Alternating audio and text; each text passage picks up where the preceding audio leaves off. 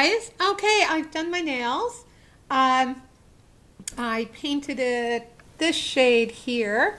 Uh, that one is a sugar and spice. What I'm going to do is take a photo of each one and put them up with the name and so it'll be easy for you guys to find.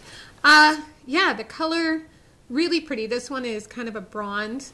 And, you know, I'll do this, uh, paint my nails. This will last me guaranteed the week.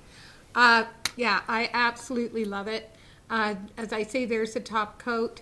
Um, yeah, it's, I mean, I don't want to go the gel nail polish. You know, I want to stay with uh, ones that I can easily remove.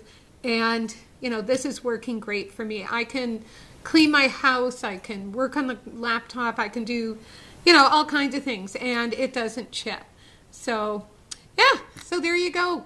I uh, hope you enjoyed. Uh, it's the CND Vinylux uh, weekly polish and weekly top coat.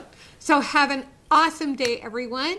And go out and do some good things, friends. Okay, we'll see you. Bye.